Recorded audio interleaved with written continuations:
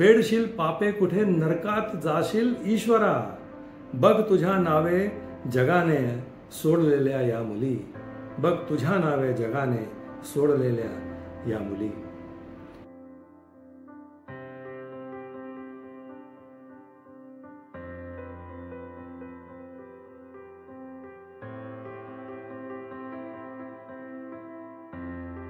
दीवान खास में आप सभी शेर अदब के चाहने वालों का बहुत बहुत इस्तकबाल। स्वागत। संदीप गुप्ते का प्यार भरा आदाब। मराठी गझल रसिकांना सप्रेम नमस्कार। देहाचा व्यापार हवा तर चोख करावा। देहाचा व्यापार हवा तर चोख करावा लग्न वगैरे पळवाटांचा सोस नसावा। तर मित्रांनो आज आपण मराठी गझलकारा शिल्पा देशपांडे यांची दर्जेदार आणि उत्कृष्ट मराठी शायरी या विषयावर बोलणार आहोत. तो दोस्तों, मराठी शायरी का एपिसोड होने की वजह से गुफ्तगु का सिलसिला जो है वो दोनों ज़बानों में कायम रखेंगे, यानी मराठी में भी और हिंदुस्तानी ज़बान में भी, ताकि हिंदी उर्दू वालों को भी मराठी गज़ल का हुस्न, उसकी ताकत का पता चल सके। तो सबसे पहले शायरा के बारे में मुख्तसर मालूम और उसके बाद उनके कुछ बुलंद और बेहतरीन अशार। शिल्पा देशपांडे का ताल्लुक मुंबई शहर से है। उनकी मौजूदा रिहाइश न्यू मुंबई की है। शिल्पा देशपांडे ने J J school of architecture में तालीम हासिल की है। Zee news limited, Marathi Zee news limited में सीनियर प्रोड्यूसर की हैसियत से शिल्पा काम कर चुकी हैं।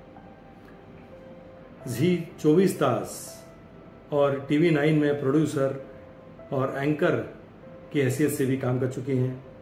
नमस्कार जी मराठी में। बतौर एंकर उन्होंने काम किया है। बतौर जर्नलिस्ट शिल्पा देशपांडे काम कर चुकी हैं। शिल्पा देशपांडे मैराथन रनर भी हैं। एक कामयाब मैराथन रनर भी रह चुकी हैं। और इन दिनों वो अमेज़ॉन होम इंडिया में कंटेंट एडिटर की हैसियत से काम कर रही हैं। तो ये था उनका कुछ प्रोफेशनल बायोडाटा अब उनकी गज़ल की बात करते हैं। तो शिल्पा देशपांडे कई, एक लंबे अरसे से मराठी गज़लें कह रही हैं। उन्होंने दरअसल तादाद देखी जाए तो उन्होंने बहुत कम शेर कहे हैं, बहुत ज़्यादा शेर नहीं कहे हैं। फिर भी जो शेर कहे हैं, वो दमदार कहे हैं और बहुत ही ज़बरदस्त और ताकतवर शेर हैं उनके। दोस्तों, मेरी नज़र में शिल्पा देशपांडे की शायरी की दो खूबियाँ हैं। उनकी शायरी की पहली खूबी मेरे नज़र में यह है कि उनकी शायरी फेमिनिज़म की एक बुलंद आवाज़ है।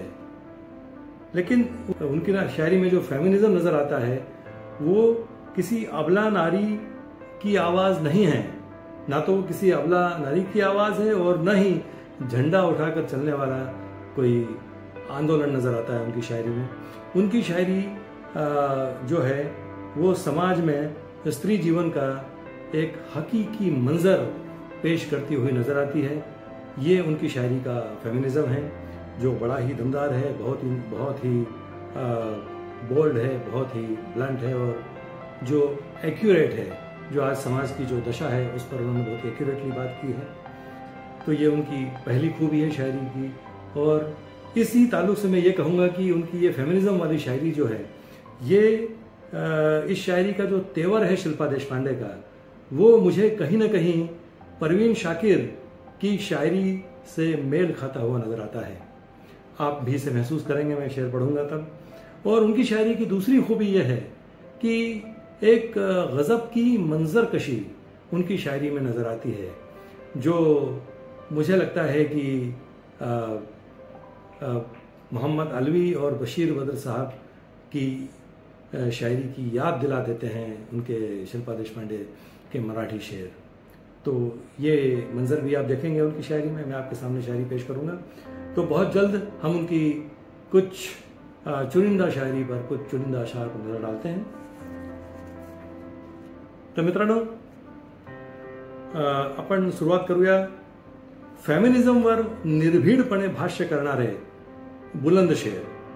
शिल्पा पुरुषप्रधान समाजाने नाकारलेल्या काही विवश मुलींची व्यथा मांडताना दिसतात. ते शेर बघा. हास्य वाटे चंद्रभागा चेहऱ्यावर पंढरी. हास्य वाटे चंद्रभागा चेहऱ्यावर पंढरी. रोज बाजारात तरीही मांडलेल्या या मुली. रोज बाजारात तरीही मांडलेल्या या मुली. आणि शेवटी थेट ईश्वरालाच एक जळजळीत प्रश्न विचारतात शिल्पा. तो शेर बघा. फेडशील पापे कुठे? नरकात जाशील ईश्वरा. फेडशील पापे कुठे? नरकात जाशील ईश्वरा. बघ तुझ्या नावे जगाने सोडलेल्या या मुली. बघ तुझ्या नावे जगाने सोडलेल्या या मुली. विनापत्य स्त्रीचे दुःख मांडताना शिल्पा देशपांडे म्हणतात त्यांच्या हा शेर बघा मातृत्वाला वंचित होणे ज्याना ठाऊक. मातृत्वाला वंचित होणे ज्याना ठाऊक ते मातीला वांझ कधी संबोधत नाही. ते मातीला वांज कधी संबोधत नाही. मित्रांनो चारित्र्याच्या प्रश्नावर स्त्री पुरुषांना जोपताना समाजाच्या दृष्टिकोनातली असमानता शिल्पा अशा प्रकारे दाखवून देतात. तो शेर बघा. सीता देते अग्निपरीक्षा सीता देते अग्निपरीक्षा त्यांच्या तरीही राघव शाश्वत. त्यांच्या तरीही राघव शाश्वत. की मी जसं म्हटलं की एक हकीकी मंजर किंवा वस्तुस्थिती समाजाची शिल्पाच्या शायरीमध्ये आपल्याला दिसून येते. आता हे दोन शेअर बघा. परत फेमिनिझमवर भाष्य भाष्य करणारे. देहाचा व्यवहार हवा तर चोख करावा. देहाचा व्यवहार हवा तर चोख करावा. लग्न वगैरे पळवाट्यांचा सोस नसावा. आणि हा एक कॉन्फिडंट आणि प्रोग्रेसिव्ह शेअर बघा. स्वतःवरी विश्वास ठेवणे सोपे नसते. स्वतःवरी विश्वास ठेवणे सोपे नसते. म्हणून सोयीच्या देवाचा हात धरावा. म्हणून सोयीच्या देवाचा हात धरावा.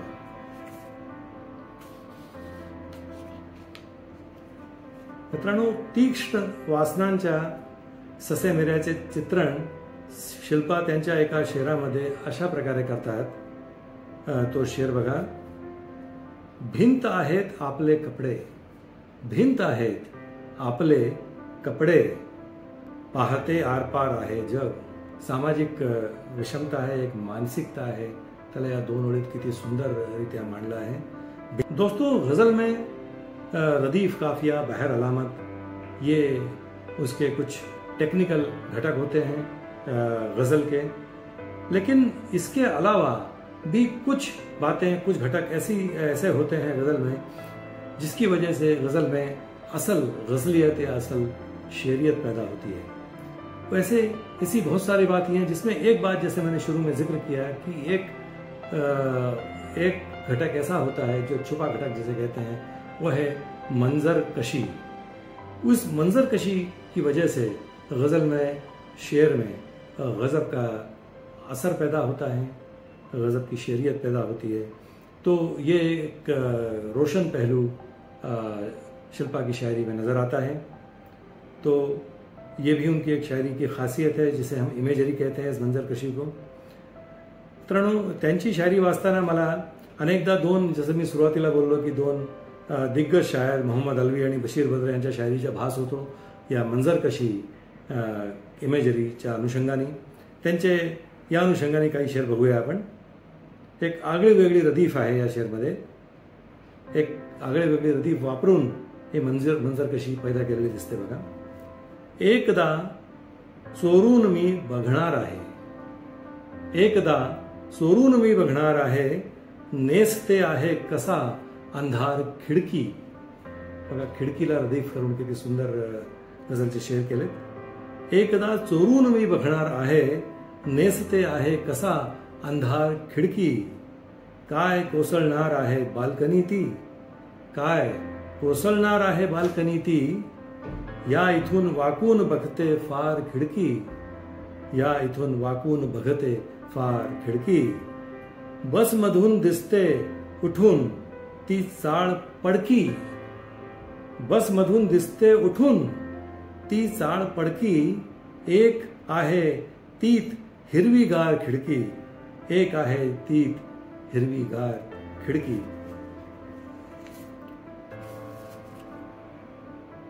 एका गझलचे शिल्पाचे तीन शेअर मी तुमच्यासमोर सादर करतो ते बघा. त्यात परत एक तुम्हाला मंजर कशी आहे नाविन्य पूर्ण शब्दप्रयोग देखील तुम्हाला दिसून येईल. कधी नभाला पाय लागला होता पूर्वी कधी नभाला पाय लागला होता पूर्वी कधी झुला डोक्यात बांधला होता पूर्वी.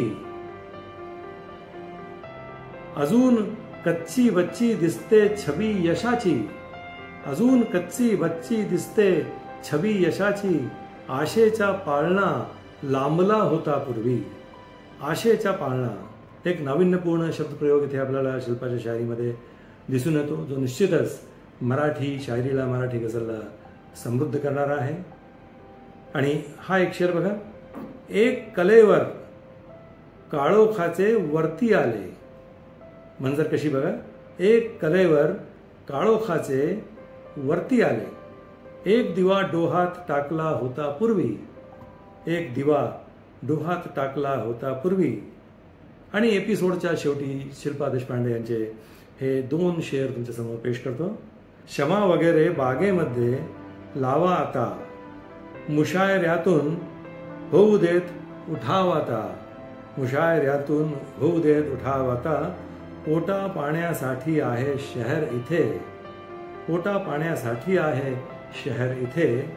कवितेपुरता उरला आहे गाव आता कवितेपुरता उरला आहे गाव आता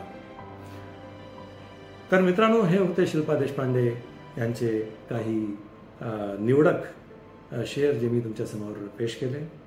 तो दोस्तों, मुझे उम्मीद है, शिल्पा देशपांडे, मराठी गज़लकारा, इनके कुछ चुनिंदा शेर जो मैंने आपके सामने हाजिर किए, आपको ज़रूर पसंद आए होंगे। तो अगली मरतबा, किसी और शायर का कलाम लेकर मैं आपके सामने फिर हाजिर होता हूँ। तब तक इस चैनल को सब्सक्राइब कीजिए और हमसे जुड़े रहिए। बहुत बहुत शुक्रिया।